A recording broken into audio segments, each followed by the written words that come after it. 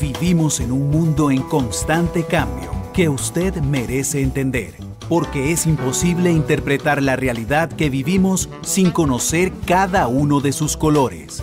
Porque muchos son los tonos de la actualidad. Presentamos Matices. Una producción de Noticias Monumental.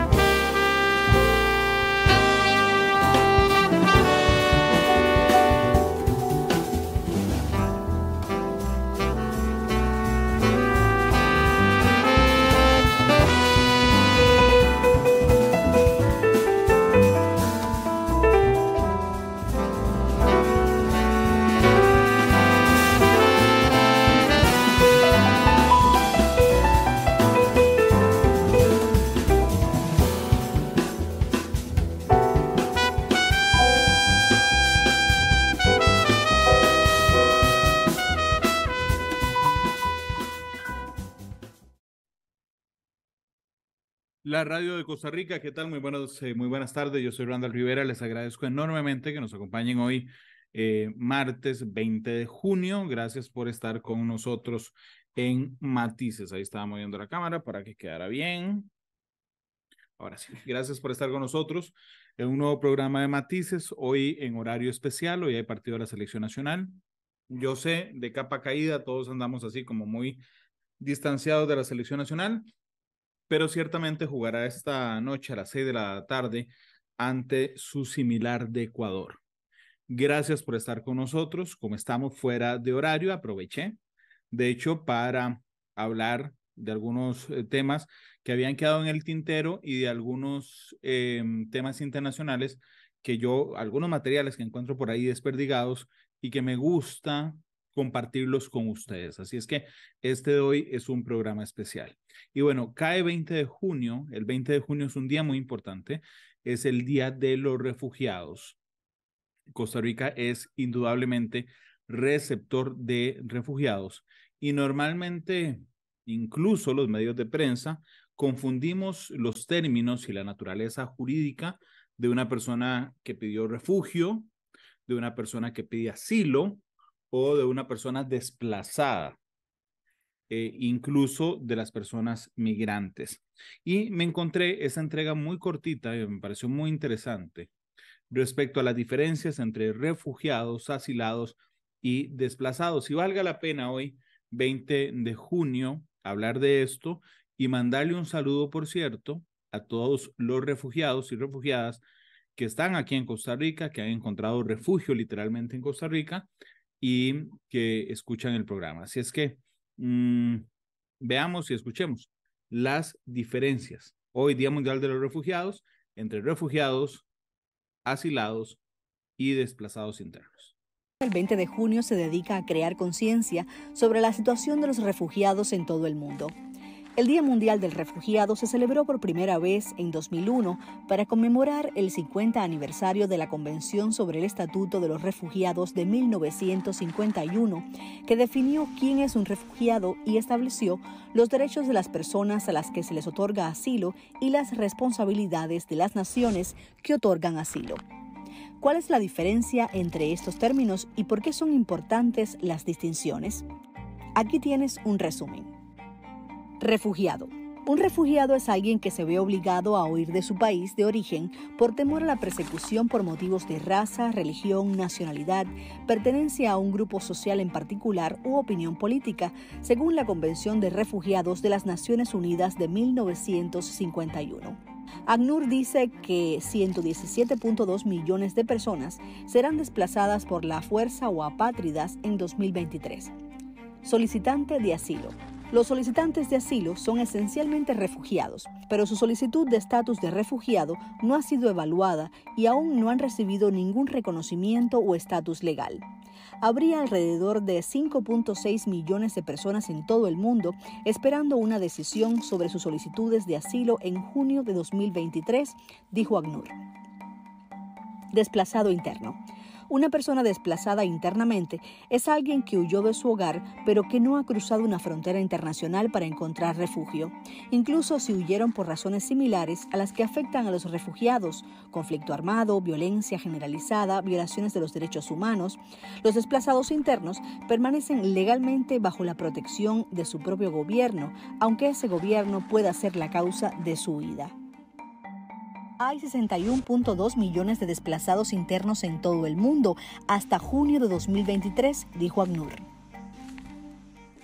Inmigrante. Migrante es un término genérico para una persona que se muda de su lugar de residencia habitual por una variedad de razones, pero no necesariamente por una amenaza directa de persecución o muerte. Pueden estar moviéndose temporal o permanentemente, legal o ilegalmente. Aunque los términos refugiados, desplazados internos, solicitantes de asilo e inmigrantes pueden parecer similares, estos grupos están protegidos de diversas maneras. Por ejemplo, la Convención Internacional de 1951 describió ciertos derechos para las personas consideradas refugiadas, mientras que los migrantes no tienen tales derechos. Los refugiados están protegidos de ser deportados o devueltos a situaciones que puedan amenazar sus vidas. Deben tener acceso a los servicios sociales e integrarse en la sociedad de su nuevo país. Los migrantes, por otro lado, están sujetos a las leyes y procedimientos de inmigración de un país y pueden ser rechazados o deportados a su país de origen. Interesante, ¿verdad? Yo creo que siempre hay que intentar todos los días aprender eh, algo nuevo y sobre todo cuando está relacionado con seres humanos y con seres humanos con los que convivimos todos los días, con los que nos topamos en San José Centro, con los que nos topamos en las rotondas, con los que trabajamos todos los días. Este, incluso la gente de área rural que se ha visto en Costa Rica y en el mundo, desplazada internamente dentro de su propio país por algo en particular. Y bueno, hablemos también de otro tema que me pareció muy interesante, que tiene que ver con las remesas. Un día de estos, la semana pasada, fue el Día Mundial de las Remesas. Nosotros en Costa Rica no le damos mucha pelota. Es la plata que los ticos que se fueron le mandan a los ticos que quedan. Y ciertamente, aunque Costa Rica debe ser un dato importante y además creciente, porque cada vez más ticos quieren irse del país, según nos demuestran los últimos informes. Lo cierto es que algunos otros países de Centroamérica particularmente basan prácticamente su economía en las remesas que le mandan sus conciudadanos y familiares que están fuera de su país. Realmente el flujo de remesas es fundamental para los países en América Latina. Hay unos ejemplos Em, como Honduras, por ejemplo, o El Salvador, cuya economía, su Producto Interno Bruto, el PIB, todo lo que producen, dos colones o dos de cada diez, es decir, el 20% de todo lo que producen de su PIB viene de remesas en el exterior. Así es que analizamos el papel fundamental que tienen las remesas en la economía latinoamericana. Las remesas juegan un papel crucial en la economía de América Latina, proporcionando un flujo de ingresos relevante para muchos países de la región. Estos envíos de dinero, por ejemplo, suponen más del 20% del Producto Interno Bruto en países como El Salvador y Honduras. En Panorama echamos un vistazo a la situación en la región, coincidiendo con el Día Internacional de las Remesas Familiares.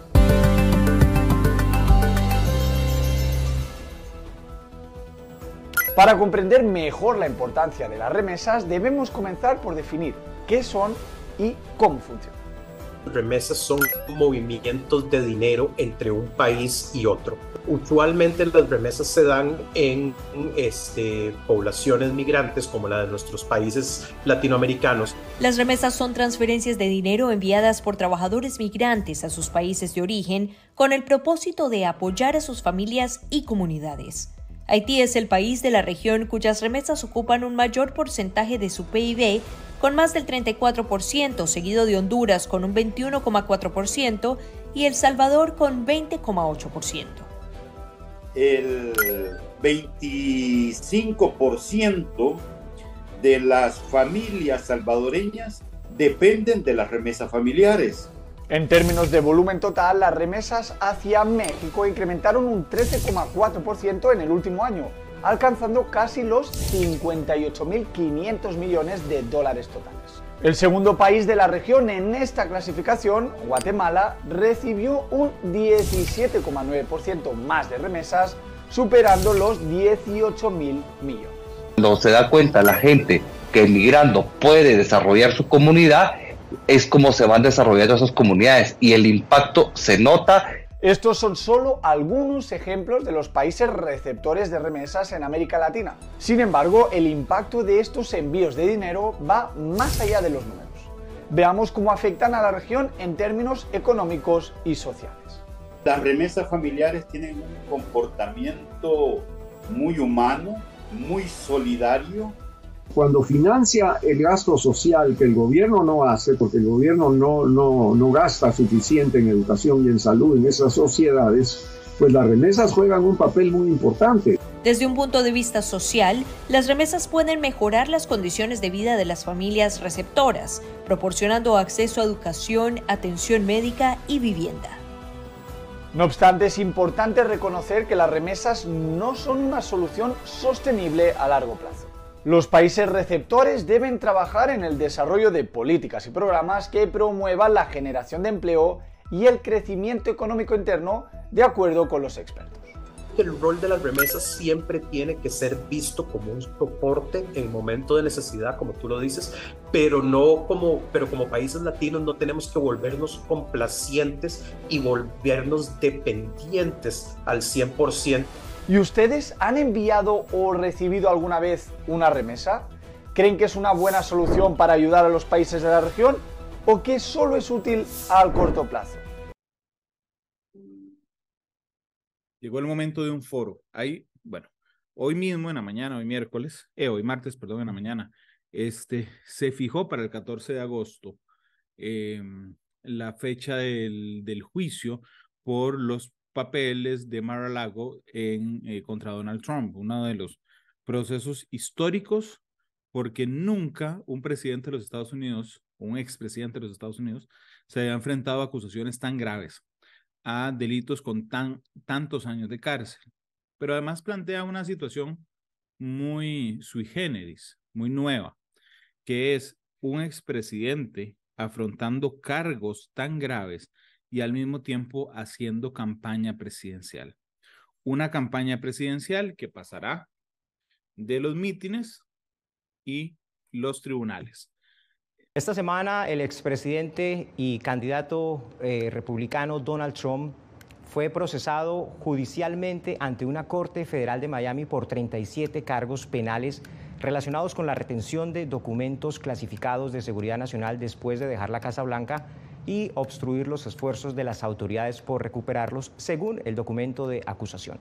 Ante la Corte, el exmandatario estadounidense se declaró no culpable de la imputación realizada por un jurado.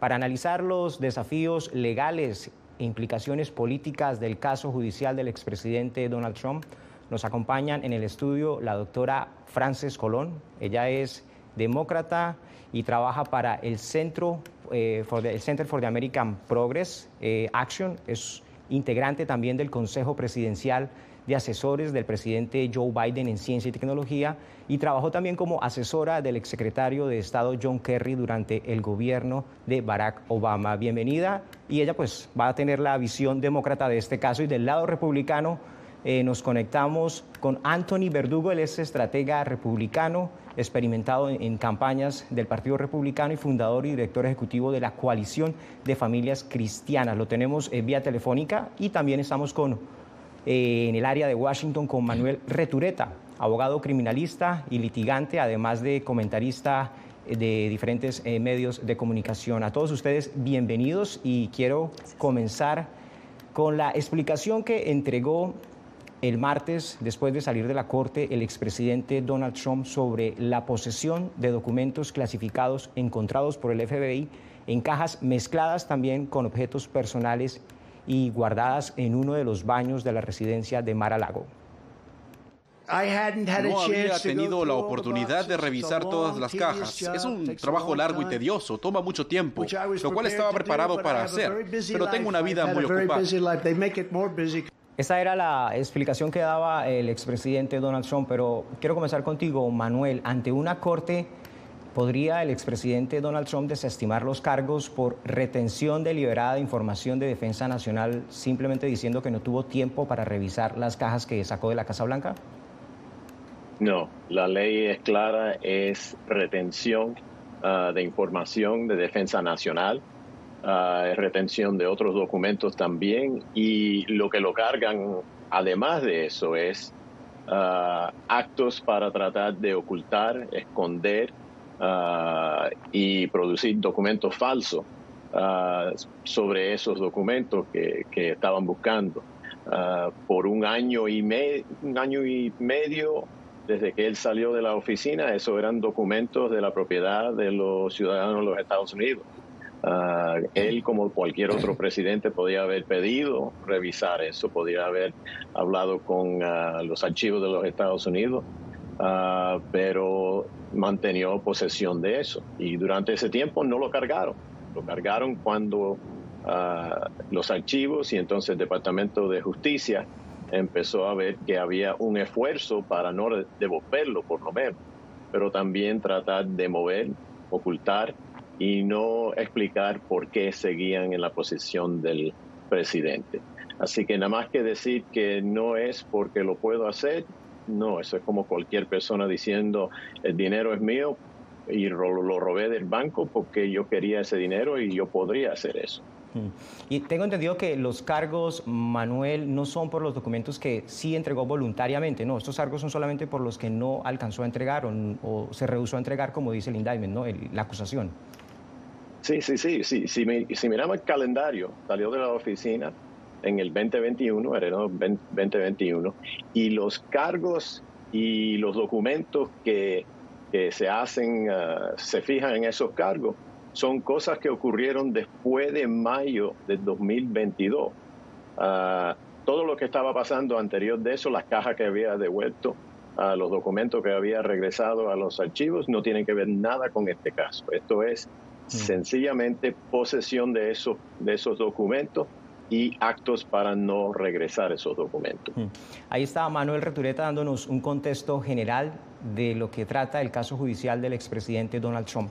Pero miremos cómo ha tomado la opinión pública este proceso judicial. La cadena ABC y la encuestadora Ipsos preguntaron lo siguiente.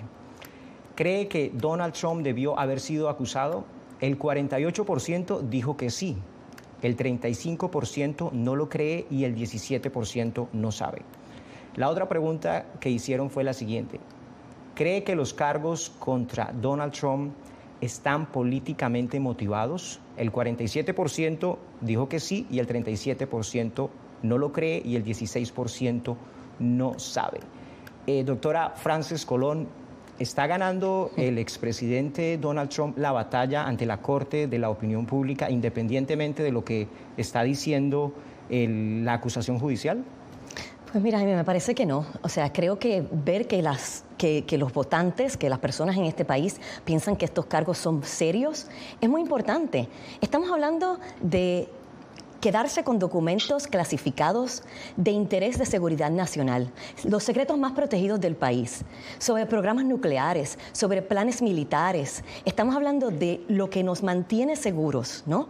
Y las personas entienden que esto es un país de ley y orden que esto es un país donde las instituciones funcionan y que nadie tiene derecho a violar la ley de esa manera. Entonces, por eso es que ven los cargos como serios. Y eso es importante en la opinión popular. Lo ven como serios, pero también dicen, pero esto es político. O sea, ¿no hay una contradicción ahí? Bueno, pero ¿qué no es político cuando estamos hablando del expresidente? Todo alrededor de él, todo es una eterna campaña política, todo se vuelve un rally, todo se vuelve una parada de campaña. Salió de la corte en Miami durante el, momento en la corte y sale de la corte y va a un café y hace un rally político y le ofrece a todo el mundo eh, comida gratis. Todo es político, por eso la percepción pública, claro, lo ve todo como político. Pero aquí estamos hablando de un proceso legal, un proceso judicial, del cual él no está exento donde todo el mundo en este país está regido por las mismas leyes. Anthony, eh, nos conectamos contigo telefónicamente, tuvimos una dificultad ahí con la conexión, pero según la acusación, eh, Trump sabía de estos documentos clasificados, ¿no era más fácil eh, entregarlos y evitar, digamos, todo este proceso judicial? Quizás, pero lo que estoy oyendo aquí de las dos comentaristas que están en el programa es que básicamente tal parece, la impresión es que ya este hombre ha sido enjuiciado, ya, ya ha sido convicto y ahora estamos esperando solamente la sentencia de él. Les recuerdo a los oyentes de que en los Estados Unidos, como funciona la ley, es que el acusado es, tiene la presunción de inocencia hasta ser probado culpable. Empezando por ahí. Eso es básico, eso todo el mundo lo sabe, eso no está para discusión ni debate. Presunción de inocencia para todo acusado. Y eso incluye Joe Biden, que está bajo investigación por los documentos, y eso incluye Hillary Clinton, quien destruyó información clasificada y nada le pasó a ella. Ahora, ¿cómo llegamos a estas acusaciones? Un gran jurado, que son miembros de la comunidad, que los reunieron y le presentaron evidencia. Jack Smith, el fiscal, le presentó evidencia, entre comillas, no, lo hemos visto hasta ahora que lo estamos empezando a ver, eh, de que habían crímenes cometidos. En ese proceso gran jurado, que es secreto, y que el otro lado no está, la defensa no existe para el acusado, el acusado tampoco está presente, es solamente un lado que se oye. También traen supuestamente testigos, los cuestionan, etcétera. Pero eso simplemente lleva a una, una convicción. Y creo que eso es importante porque no podemos presumir de que la persona ha cometido ningún crimen hasta que no sea enjuiciado. Ahora, después de haber dicho eso, también hay que considerar que aquí hay 37 cargos, pero los 37 cargos, los primeros 31 es lo mismo, retención de documentos. Eh, Jack Smith lo que está intentando hacer, y creo que por eso vemos las encuestas que están a favor del presidente Trump, es que está tratando de ver cómo él consigue un cargo de los 37 que cada uno lleva entre 10 y 20 años en la cárcel, dicho sea paso, un cargo contra el presidente sabiendo que él tiene un jurado de 12 personas que van a escoger, que no han escogido todavía, y de esas 12 personas todas tienen que votar para convicción, o sea, tiene que ser unánime y eso va a ser muy difícil cuando tú tienes un país tan dividido. Luego de la diligencia judicial ante una corte de Miami, eh, de Miami, Trump defendió la tenencia de los documentos que se llevó de su residencia de Mar a Lago tras el fin de su presidencia el 20 de enero de 2021. Cualquiera que sean los documentos que el presidente decida llevarse, tiene derecho a hacerlo. Es un derecho absoluto. Esta es la ley. E, eso es lo que dice el expresidente Donald Trump, pero miremos qué dice la ley de registros presidenciales de 1978. Estados Unidos se reservará y conservará la propiedad completa, posesión y control de registros presidenciales al término del mandato de un presidente. El archivo de Estados Unidos asumirá la responsabilidad de la custodia, control, conservación y acceso a las actas de eh, de ese presidente que esté en ejercicio en su momento. Eso es lo que dice la ley, doctora Frances Colón.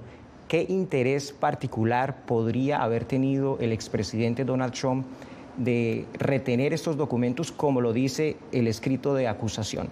Sí, es muy difícil adivinar sus razones verdaderas, ¿no? Lo que sí sabemos es que esos documentos contienen secretos nacionales de seguridad, secretos militares, secretos nucleares, y son cosas que afectan a nuestros aliados, afectan nuestra seguridad y afectan a los informantes que nos dan esos secretos para que nosotros podamos proteger a nuestro país. Entonces ahí tienes un poco de la información de por qué esos documentos quizás son, son tan importantes y se los lleva em, y los mantiene en, su poder, aún violando esta ley, que la ley de espionaje es, es lo que estamos hablando. Estos documentos son clasificados de seguridad nacional.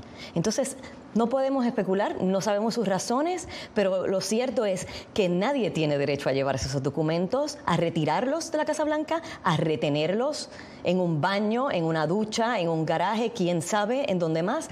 No, eso no es parte mm. de lo que es autorizado por la ley de retención de documentos. Anthony, dice el Washington Post que inclusive el expresidente Trump rechazó los esfuerzos de sus propios abogados para evitar la acusación por los documentos clasificados y antes de que se nombrara al fiscal especial Jack Smith, eh, ¿qué sentido tiene exponerse a ir a un juicio en, tu interpretación de qué pudo haber pasado en ese momento por el expresidente Donald Trump para exponerse a lo que está en este momento?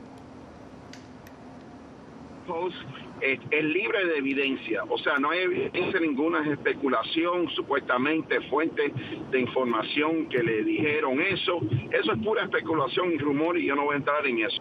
Yo quiero ir a los hechos. En 1988, en 1988 la Corte Suprema, en un caso de Navy versus Egan, eh, que era un caso en donde un empleado fue negado autorización de seguridad, la Corte Suprema en 1988 dijo lo siguiente, el presidente es el comandante y jefe del ejército y del Navy de los Estados Unidos, según artículo 2 de la Constitución. Esto fue la mayoría, que yo creo que incluso fue 9 a 0, si no me equivoco. La autoridad del presidente de clasificar y controlar acceso a información de seguridad nacional fluye primordialmente poder constitucional aparte de cualquier tipo de permiso del Congreso. Entonces, básicamente lo que y eso no lo interpreto yo, lo interpreta Stephen Aftergood, director de la Federación de Secretos de Gobierno, proyectos secretos del gobierno. Él dijo en una entrevista que esta autoridad le da al presidente la autoridad de clasificar y declasificar documentos a mm. voluntad. A voluntad. Anthony, pero, hay una grabación muy clara. sí, de esa grabación. La grabación en la acusación, nombrada en la acusación, muy claramente dice que el presidente Trump está grabado diciendo que estos documentos eran clasificados y él no los declasificó cuando era presidente y no lo puede hacer ahora. Esa conversación existe en el indictment. y eh, bueno, y nosotros tenemos 17 audios, 17 grabaciones en donde supuestamente se alega que el presidente de los Estados Unidos está hablando de soborno, que él aceptó de países y gobiernos en la extranjera. ¿En dónde nos deja eso, señores? Yo no creo que esta señora ha oído el audio o quizás no, no, sé escuchado, hay un caso no, del presidente, no, no hay un caso. Por eso no podemos no podemos caer en alegaciones porque si bueno, eh, estamos hablando del caso que sí existe. Anthony, lo que pasa es que estamos estamos refiriéndonos a un documento. Bueno, bueno, esperamos el caso, no lo hemos visto. Anthony, eh, la verdad es que la verdad es que estamos refiriéndonos es a un documento judicial con el que un jurado lo vota, o sea, es un jurado, es gente del público los que lo aprueban y el expresidente Donald Trump tuvo que eh, presentarse ante la Corte. Yo quiero preguntarle a Manuel Retureta, ¿existe algún paralelo entre el caso de Donald Trump en el manejo de la información eh, clasificada o confidencial eh, con el caso, por ejemplo, de Hillary Clinton, que lo menciona mucho en el Partido Republicano, haciendo un, ellos haciendo también un paralelo de, estas, de estos dos casos. ¿Son equiparables o no? Bueno, vamos a empezar con decir que hay algo que tenía Hillary que no debía haber tenido y por eso hay un paralelo. Vamos a decir que para argumentar eso es el caso. Acuérdate, había un presidente que tenía esa oficina desde el 2016 hasta 2020 y ese presidente tenía un departamento de justicia que ese presidente había apuntado el fiscal, el fiscal general, uno que se llama William Sessions y después William Barr, y ese presidente tenía lo mismo en la, en la mente sobre Hillary Clinton y la preocupación que él tenía sobre los correos electrónicos y cualquier otra cosa que ella tenía. Y durante esos cuatro años, ese presidente que se llama Donald J. Trump no sacó un fiscal especial no sacó una investigación ese Departamento de Justicia que estaba debajo del la control de la administración de Trump. Así que si hay algún paralelo Vamos a empezar con el departamento de Donald J. Trump, que analizó eso, que tenían todo lo, el esfuerzo y las personas que podían investigar eso de los Estados Unidos y decidieron que no. Si puedo responder un poquito a lo que dice Anthony. Anthony, yo trabajo en este mundo todos los días. El sistema criminal de los Estados Unidos es el mejor del mundo y yo nunca, como un abogado defensor, tendría el pensamiento de llegar a una conclusión con un acusado antes que un jurado lo vaya a encontrar culpable. Lo que estamos hablando ahora son los cargos. Y lo que estamos viendo es que hay un fiscal que se llama Jack Smith, que se presentó delante de las camas para nada más que decir, estamos haciendo este trabajo, tenemos personas que tienen muchas calificaciones y dedicación para lo que están haciendo y le vamos a dar al acusado su derecho de un juicio rápido. Y él es inocente hasta que nosotros lo podemos probar culpable. Hay, el otro lado de esto es Donald J. Trump tratando de derrotar las instituciones. Sí. Jack Smith no se presentó delante de las cámaras para decir que el expresidente era terrible y es culpable. No, pero Donald Trump se presentó delante de las cámaras para decir que Jack, Smith, era es terrible. Un, es, un, es un fiscal de carrera, es decir, no es que haya llegado con la administración Biden. Pero bueno, el fiscal especial Jack Smith es el encargado de la investigación del expresidente Trump por los documentos clasificados. ¿Qué tan rápido podría resolverse el proceso judicial de Trump como lo pretende el fiscal Smith? Bueno, estamos viendo un poquito. Uh, obviamente ese día uh, se presentó el presidente y se presentó el valet de él, el ayudante de él. Nauta. Nauta tiene que regresar el 27.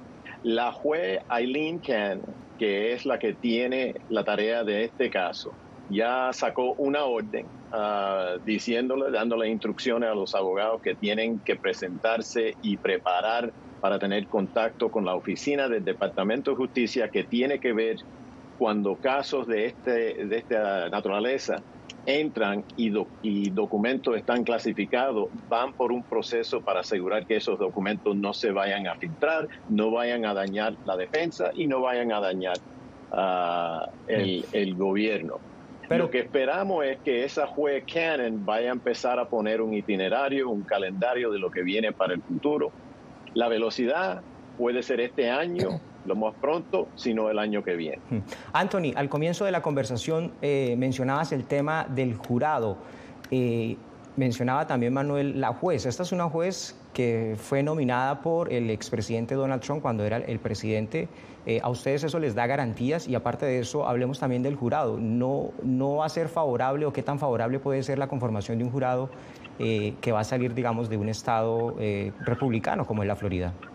Bueno, primero le quiero dar las gracias al abogado Manuel por esa aclaración, creo que era necesario e importante, eh, porque la presunción de inocencia para todo acusado es fundamental. Eh, con respecto a la jueza, yo, yo creo que es interesante que estamos especulando, porque simplemente fue nombrada por el presidente Trump, eso no da ninguna garantía.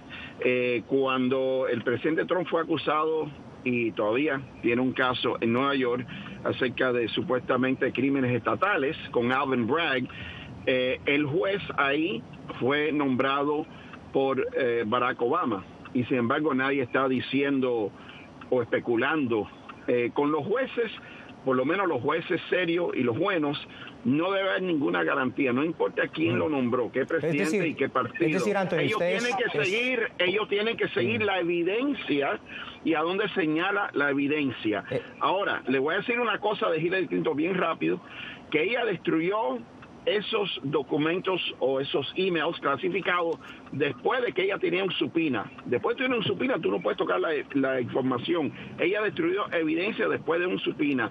Y creo que sí, la administración de Trump debe haber perseguido cargos y no lo hizo, y en eso estoy de acuerdo. Y lo otro es que lo mismo que estamos hablando de los tapes de audio ahora, existen en la posesión bueno, de Bill Clinton, Anthony, el, el expresidente. Pero y de eso, esos nunca eso, esos audios la, que, que, la, queremos escucharlo porque la gente la gente no, no los conoce Do, doctora eh, Colón eh, ¿Le da alguna ventaja? ¿Ustedes consideran que tiene alguna ventaja que el caso del expresidente Donald Trump eh, se dé en Florida o, o creen que no, no, le tendría que dar ningún tipo de, de, beneficio a él que el caso se desarrolle allá?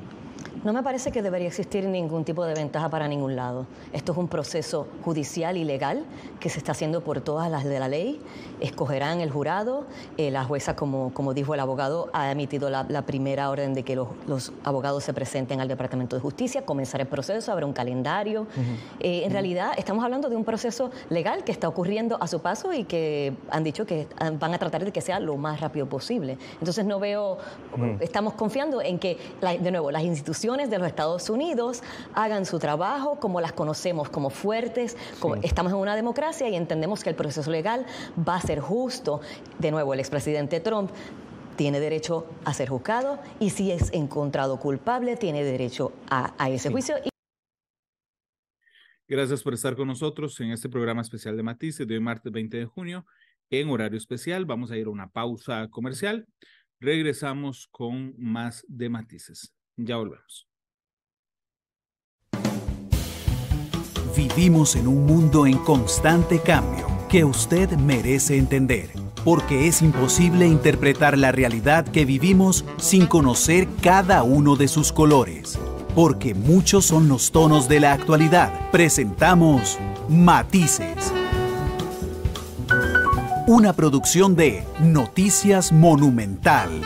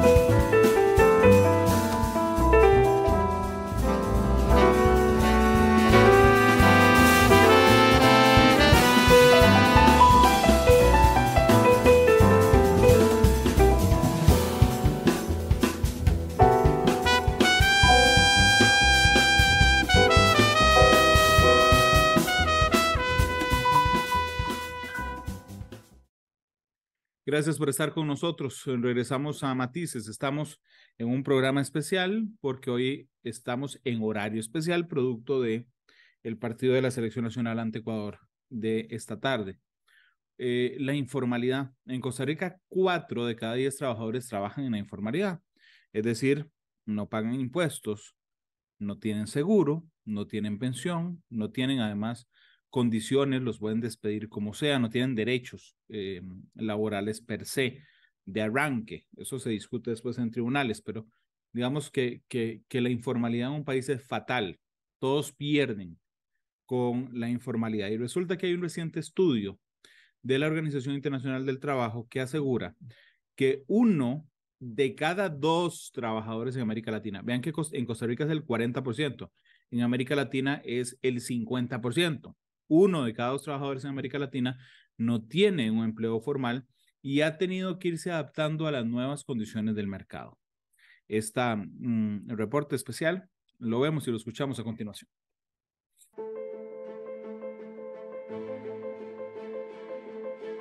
Soy oficial albanil, pero no me alcanza la plata. No me alcanza la plata. Tengo que salir a trabajar en la calle. No tengo obra social ni nada. Yo sé que si me choca un colectivo acá no me paga nadie. La informalidad laboral acompaña a Marcos cada día de su vida.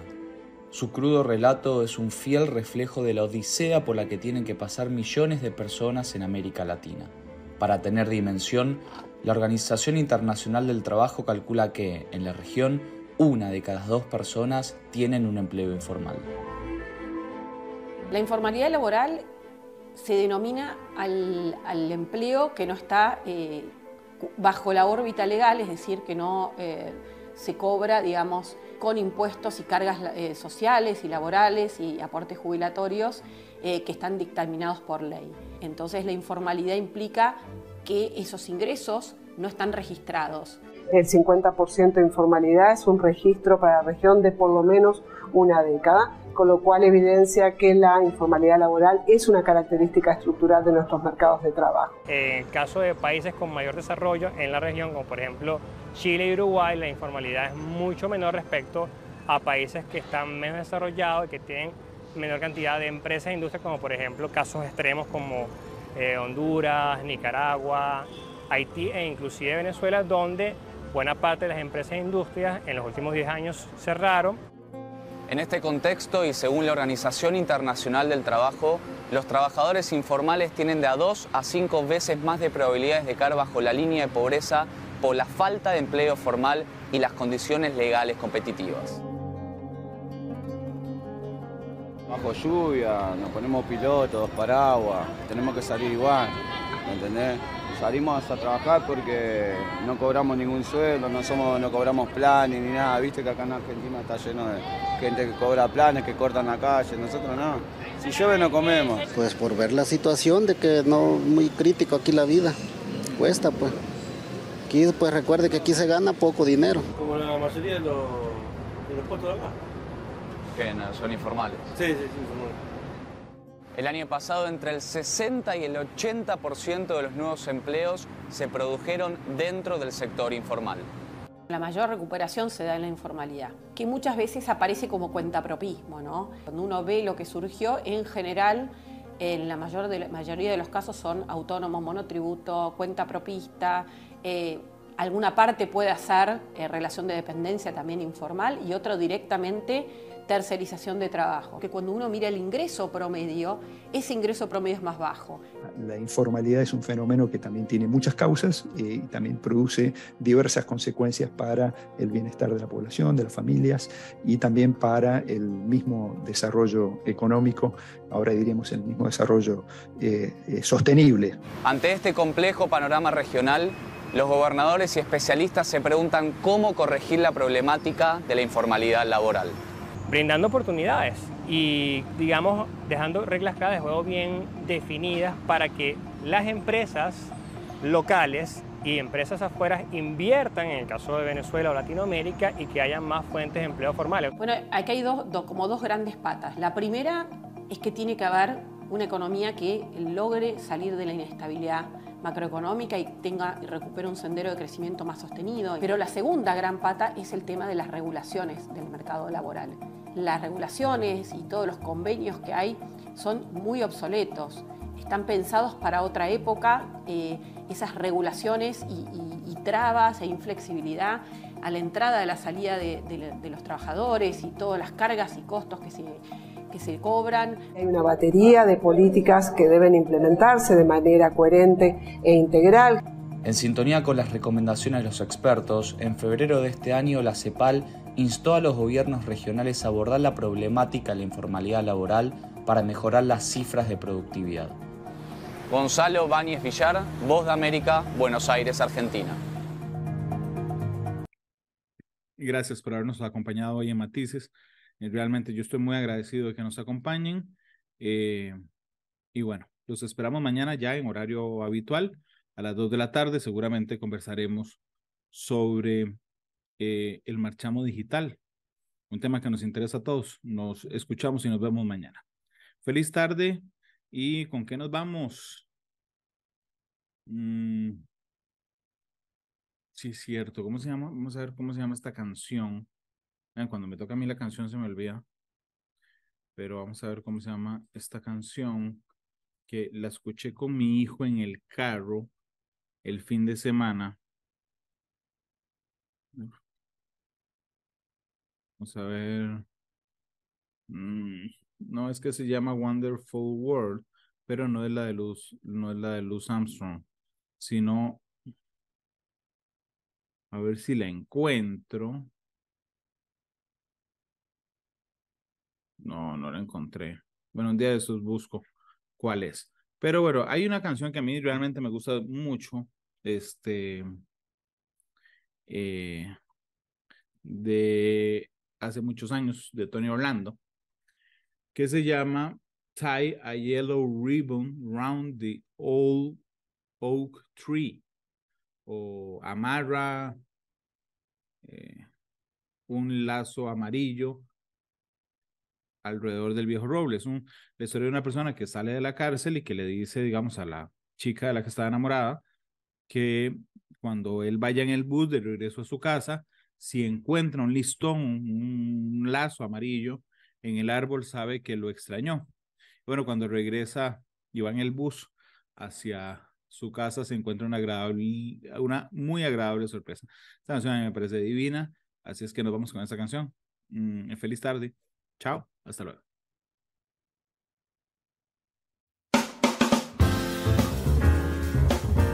Todas las perspectivas, cada punto de vista. Exploramos la realidad y cada uno de sus tonos. Esto fue Mati